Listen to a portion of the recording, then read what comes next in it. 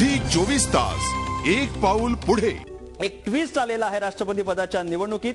कारण जी तीन नावं सुचवली आहेत ती आहे doctor APJ Abdul Kalam doctor Manmohan Singh पंतप्रधानांचं नाव त्यात आहे. आणि तिसरं नाव आहे ते माजी लोकसभा अध्यक्ष सोमनाथ चटर्जी यांचं. तर ही जी तीन नावं आहेत ही सुचवण्यात आलेली आहे मुलायम सिंग यादव आणि ममता बॅनर्जी यांनी ही तीन नावं सुचवलेली आहेत. त्यामुळे प्रणव मुखर्जी यांच्या नावावर जवळजवळ शिक्कामोर्तब होईल.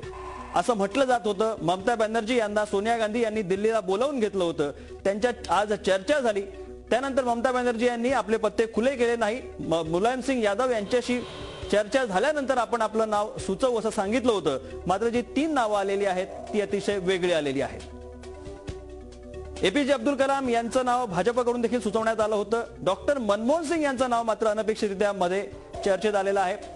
आणखी सविस्तर चर्चा करूया. इनपुट एडिटर आमचे आशिष जाधव आपल्यासोबत आहेत.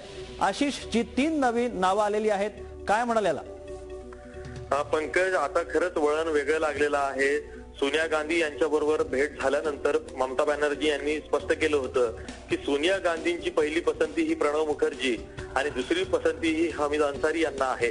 पण आता जेव्हा त्या समाजवादी पक्षाचे अध्यक्ष मुलायम सिंग यांना भेटल्या आणि त्यानंतर ममता बॅनर्जी आणि मुलायम सिंग यांनी एक वेगळंच वळण या सर्व राष्ट्रपती पदाच्या निवडणुकीला लावलेलं आहे. त्यांनी सोनिया गांधींनी दिलेला प्रस्ताव हा धुडकावलेला आहे. आणि आता त्यांनी तीन नावं पुढे केलेली आहेत.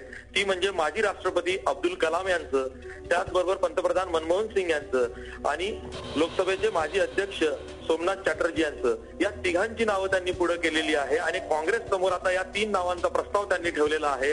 साहजिकच त्यांचा पसंतीक्रम असा आहे की अब्दुल कलाम त्यानंतर मनमोहन सिंह आणि त्यानंतर सोमनाथ चॅटर्जी. आता युपीएची अडचण अशी आहे की तृणमूल काँग्रेस जो ममता बॅनर्जींचा पक्ष आहे हा युपीएचा घटक पक्ष आहे आणि त्याच्याकडे एकोणीस जागा पाठबळ घेऊन त्या युपीएच्या घटक पक्ष आहे. पण ममता बॅनर्जी आधी सुद्धा आणि अधूनमधून आणि आताही हे आपलं उपद्रव मूल्य दाखवत असतात. आपण एक वेगळा ड्रायव्हिंग फोर्स आहोत युपीएच्या हे ते वेळोवेळी बिंबवत असतात. झी चोवीस तास एक पाऊल पुढे.